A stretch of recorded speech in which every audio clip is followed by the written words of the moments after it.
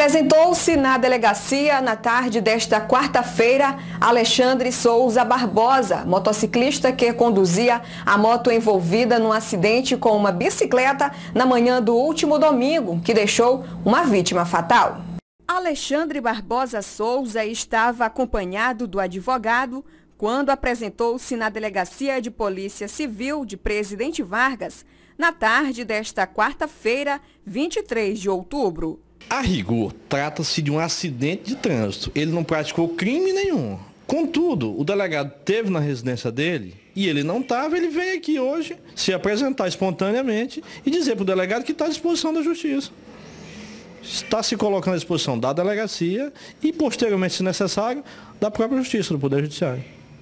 Alexandre, vulgo Jacazinho, é o condutor desta moto que se envolveu no acidente com uma bicicleta na manhã do último domingo, na MA 020, entrada de Presidente Vargas.